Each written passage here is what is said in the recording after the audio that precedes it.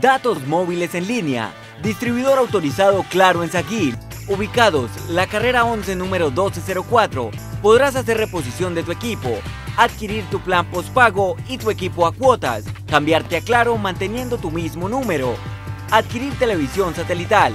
Además, en nuestra sala de ventas junto al Matachito del Paraguas, puedes realizar el pago de tus facturas. El prestador de soluciones móviles es Comcel S.A. Hola, bienvenidos a Cultura y Entretenimiento. Hoy iniciando semana les contamos que el municipio de Lato llevó a cabo sus tradicionales ferias y fiestas. Hubo actividades culturales, artísticas y deportivas durante todo el fin de semana. Durante el pasado fin de semana se realizaron las festividades en el Lato Santander, un pueblo de la provincia comunera.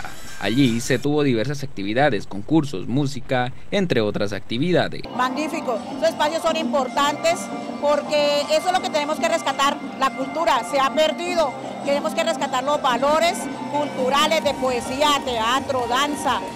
Pues en realidad la danza es como el swing que tenemos en el alma, nuestro, nuestro sabor, nuestro folclore y pues es importante representar nosotros los jóvenes, pues porque pues nosotros somos el futuro en esta generación. Las actividades iniciaron desde el día jueves con una Eucaristía y finalizaron el lunes con el homenaje al campesino. Dentro de las agrupaciones que estuvieron se destacan Jaffer Style, Los Corraleros de Colombia, Luis Ángel Díaz y el show humorístico de Chester. Bacano, bacano, la gente se rió mucho con este gran show de los estratos sociales, se divirtió. Muy bacana, muy bacana, de verdad. Uno llega acá a este pueblo y uno ve la gente uno no se quiere ir de acá. Un saludo muy especial para toda la gente que sube en este gran festival San Roque para la cultura campesina, donde la estuvimos pasando y gozando bien bacano. Y saludes al señor alcalde Don Ricaurte.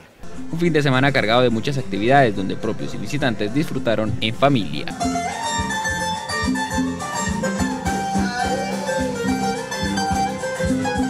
Así terminamos Cultura y Entretenimiento por el día de hoy. Nos vemos mañana con más información cultural.